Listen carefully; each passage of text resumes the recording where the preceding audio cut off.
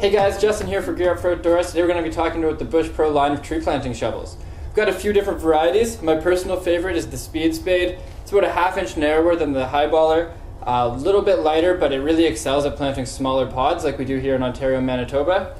The other alternative is the Highballer.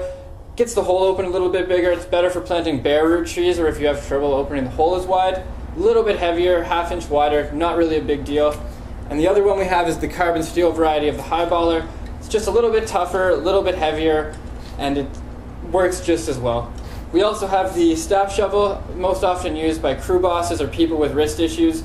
Probably not going to want to go for this, but come on out to Gear Up for Outdoors and we can show you what you're going to want for a shovel this year.